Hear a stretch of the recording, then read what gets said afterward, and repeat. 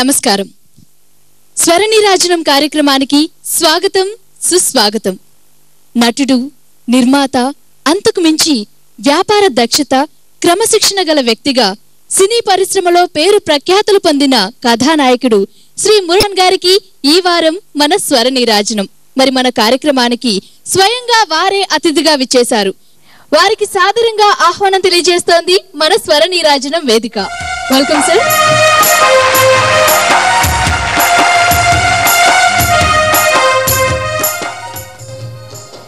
అలాగే శ్రీ మురళీ మోహన్ గారికి పుష్పగుచ్చంతో స్వాగతం తెలియచేయవలసిందిగా మన లిటిల్ ఛామ్స్ని ఇన్వైట్ చేస్తున్నాం. వెల్కమ్ లిటిల్ ఛామ్స్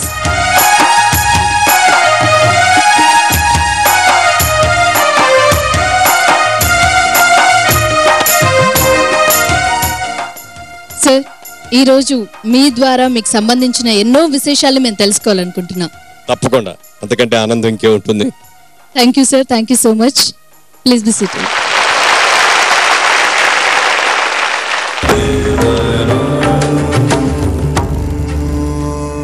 పంతొమ్మిది వందల నలభై జూన్ ఇరవై నాలుగున జన్మించిన మురళీమోహన్ గారి సొంత ఊరు వెస్ట్ గోదావరి చాటపర్రు. హీరో కృష్ణ గారికి మురళీమోహన్ గారు క్లాస్మేట్ కూడా. చిన్నప్పటి నుంచి సినిమాలంటే ఇష్టం లేకపోయినా జగమే మాయ చిత్రంతో తొలిసారిగా తెరకు పరిచయం అయ్యారు మురళీమోహన్ గారు. నీ మదిలో నేనే ఉంటే ఉంటే నా ఒడిలో నీవే ఉంటే ఉంటే నీ మదిలో నేనే ఉంటే నా ఒడిలో నీవే ఉంటే గుండెల్లో వలపుల మల్లే గుబాలించి నీ మదిలో నేనే ఉంటే నా ఒడిలో నీవే బతుకంతా తీయని తలపుల బంతులాట కాదా? నీ మదిలో నేనే ఉంటే ఉంటే ఉంటే ఆ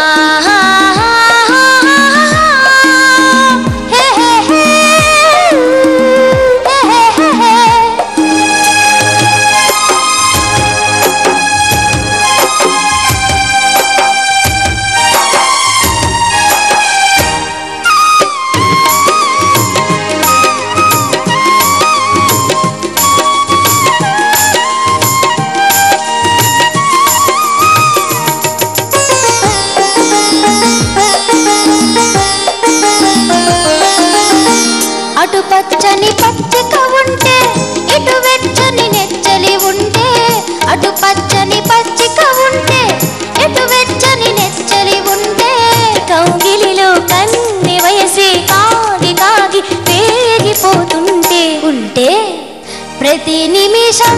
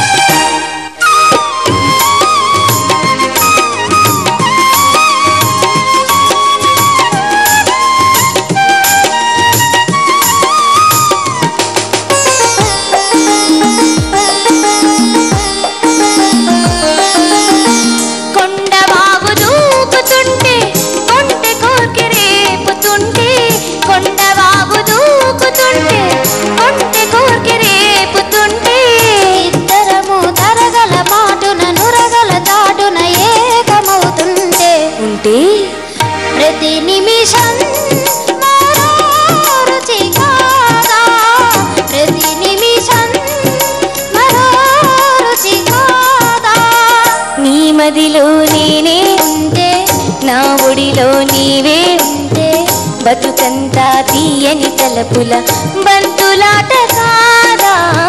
నీ మదిలో నేనే ఉంటే ఉంటే.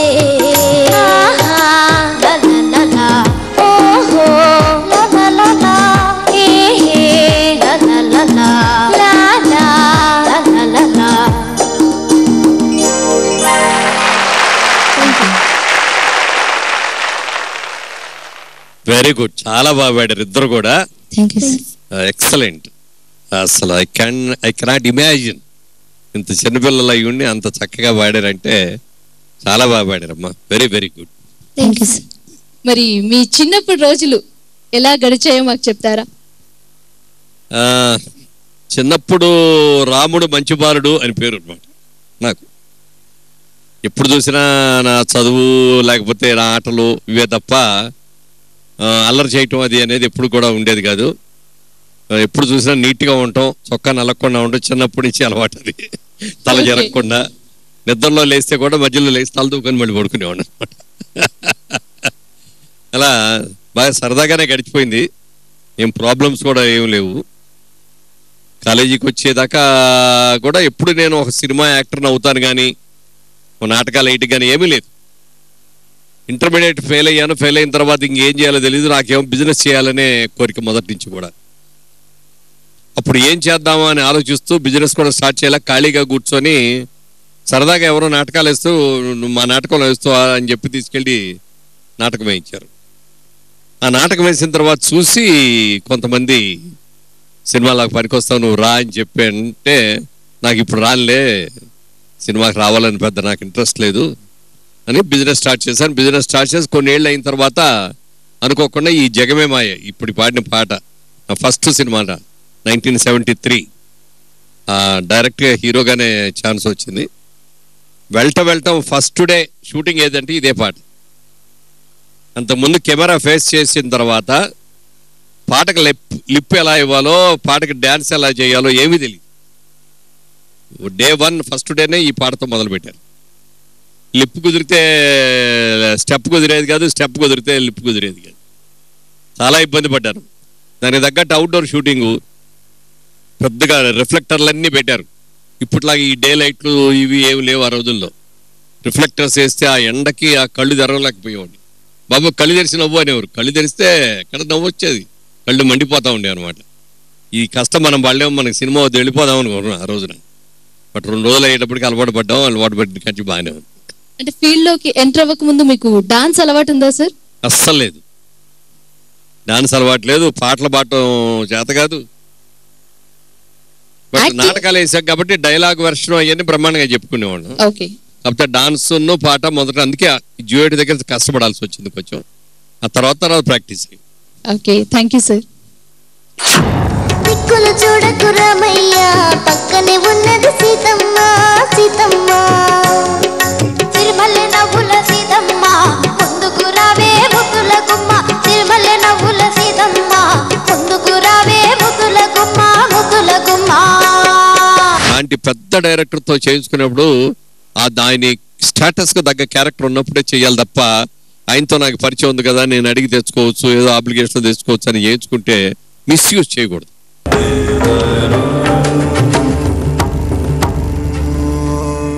రియల్ ఫీల్డ్ లోను రియల్ ఎస్టేట్ లోను తనదైన వ్యాపార ముద్రను వేసుకున్న మురళీమోహన్ గారు మొదట్లో కొన్ని ఎదురు దెబ్బలు తిన్నా పూర్తి ఆత్మవిశ్వాసంతో వ్యక్తిత్వంతో కష్టాలను ఎదురీది అనుకున్నవి సాధించారు. ఎందరికో ఆదర్శంగా నిలిచారు.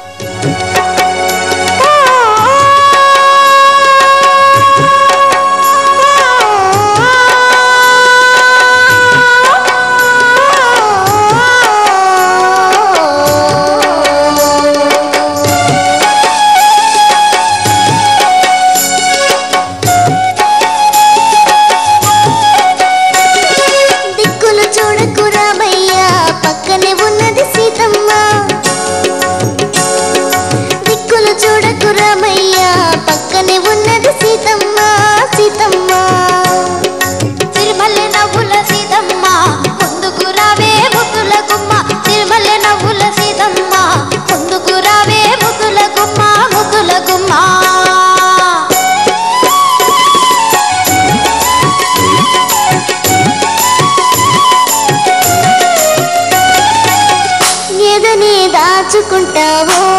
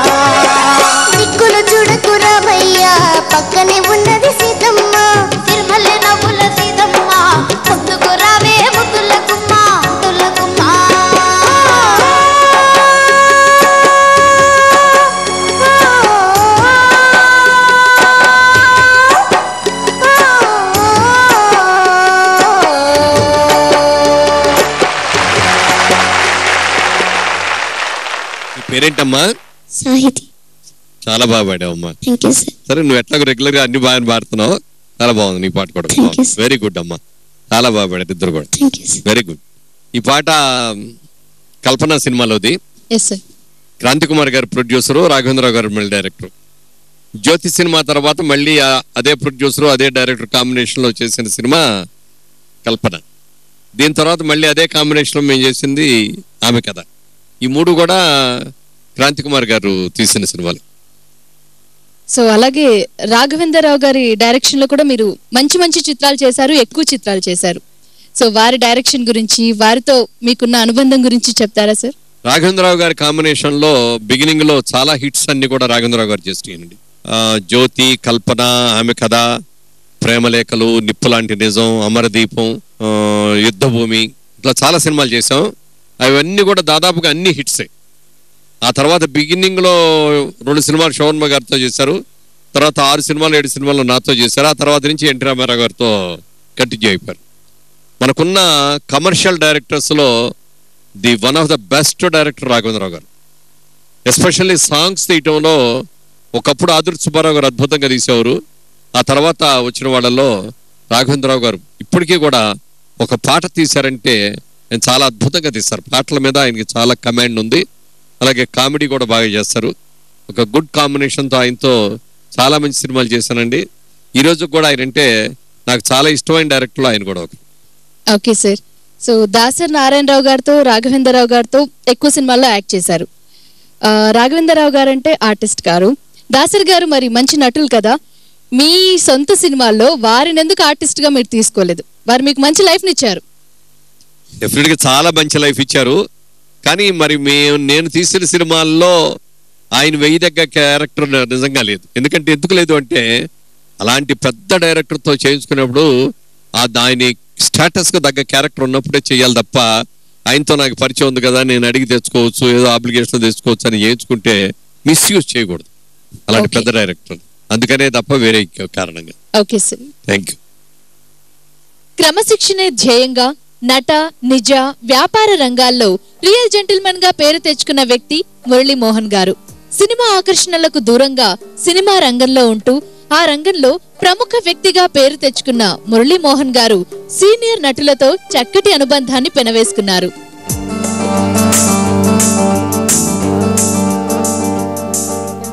గులాబీ పువ్వి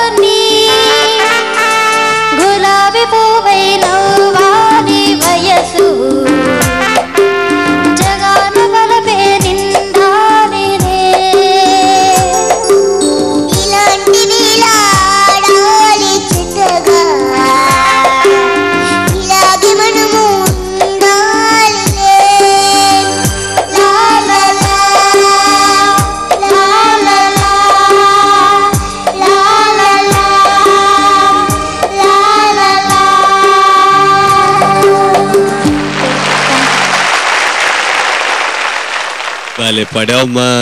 ఇంత ఉన్నావు లేదు? అప్పుడే నీకు పాట కనీసం పేపర్ కూడా చూడకుండా భలే పాడేసావే వెరీ గుడ్ అన్న ఏం చదువుతున్నావు నువ్వు? First standard first standard first standard అప్పుడే ఇన్ని పాటలు ఎట్లా నేర్చుకున్నావమ్మా నువ్వు? వెరీ నైస్ అన్న ఇంకా బాగా ప్రాక్టీస్ చేయి మంచి సింగర్ అవుతావు నువ్వు. ఆ? నువ్వు బాగా పాడావయ్యా. Good thank you sir very good చాలా బాగుంది. Thank you sir sir first time ఈ సినిమాలో మీరు ఎన్టీఆర్తో కలిసి యాక్ట్ చేశారు. సో ఆ ఎక్స్పీరియన్స్ గురించి చెప్తారా? ఈ సినిమా వచ్చే నాటికి నేను అప్పటికి ఏడెనిమిది సినిమాలు అయిపోయినాయి.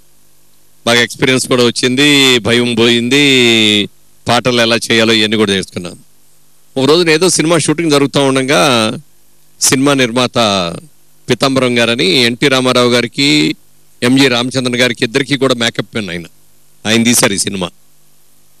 రోజు సెట్లోకి వచ్చి బాబు ఒకసారి రా నీతో పని ఉంది రామారావు చూడాలంటున్నారు నిన్ను అని. అలాగేనండి అన్నాను. బ్రేక్ టైంలో తీసుకెళ్ళారు. పక్క ఫ్లోర్లోనే ఉన్నారు ఆయన కూడా. ఆయన మేకప్ టచ్అప్ చేసుకున్నారు వెళ్ళి నమస్కారం అండి అన్న. రా బ్రదర్ రండి మీ గురించి పితాంబరం గారు చెప్పారు. బాగా చేస్తున్నారంట కదా అన్నారు. అదే ఇప్పుడు ఇప్పుడే వస్తానండి కొద్ది కొద్దిగా అన్నాను బ్రదర్ చేయండి ఈ సినిమా చాలా మంచి పెద్ద హీరో హిట్ అయ్యే సినిమా ఇది. యాదవ్కి భార్య అతను చాలా పెద్ద హిట్ సినిమా. మీరు అందులో మాకు బ్రదర్గా చేయాలి మా బాలకృష్ణ కూడా ఇంకో బ్రదర్గా చేస్తున్నాడు మన ముగ్గురు అన్నదమ్ముల్లాగా చేయాలి. డ్యూయట్లన్నీ మీకే బ్రదర్ ఇందులో మాకేం పాటలు కూడా లేవు అన్నారు ఆయన. అందుకని ఆయన చూడగానే అసలు ముందు ఒక భక్తిభావం అలా ఉన్నా కూడా ఒక షివరింగ్ రా బ్రదర్ అని చెప్పి బుధమే చేసి మంచి సినిమా అవుతుంది మీకు బాగా పేరు వస్తుంది చేయండి అన్నారు. చాలా గ్లాడ్ అన్న గారు మీరు కనుక ఈ ఆశీస్సు ఇచ్చి ఎంత క్యారెక్టర్ ఇస్తే నాకు అంతకంటే కావాల్సిందే ఉంది అన్నాను.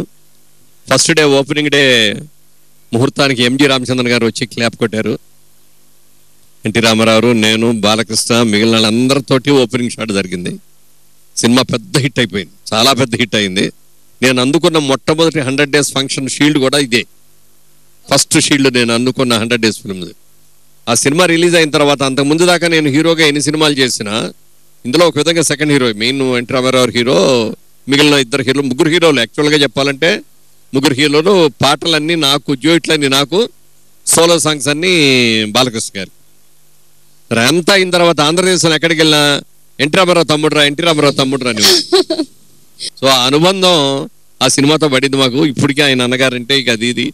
అందుకే ఆయన తెలుగుదేశం పార్టీ పెట్టిన ఆ పార్టీ పెడుతూ ఆయన కోసం వచ్చారు. నేను రాజకీయాల్లో నాకు ఇంట్రెస్ట్ ఉండే రాలా. బట్ ఎన్టీ రామారావు గారు ఆ రోజు నన్ను తమ్ముడు అని పిలిచారు. ఆయన నేను అన్న అని పిలిచాను. ఆయన ఒక పని ఒక పవిత్ర కార్యం మీద వెళ్తున్నప్పుడు ఆయనకి మనకి వెనక వెళ్ళాలి అని చెప్పి ఆ విధంగా వచ్చాను తప్ప పార్టీల మీద ఇంట్రెస్ట్తో మాత్రం రాలి okay thank you so much sir సిరిమల్లె పువ్వల్లె నవ్వు చిన్నారి పాపల్లె నవ్వు చిరకాలం ఉండాలి నీ నవ్వు చిగురిస్తూ ఉండాలి నా నువ్వు నా నువ్వు. జయసుధ గారికి నాకు చాలా నెంబర్ ఆఫ్ ఫిలిమ్స్ చేసాం అందరూ కూడా ఆడియన్స్ అందరూ కూడా ఇద్దరు